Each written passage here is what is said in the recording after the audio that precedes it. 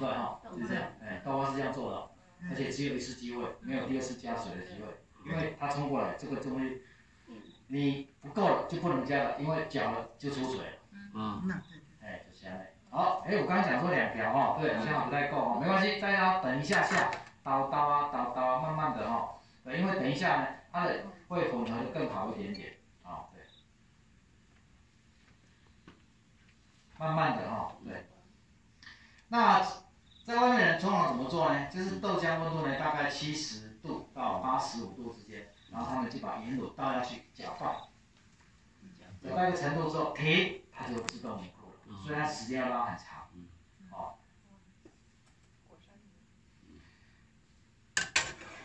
稍微把边边给它，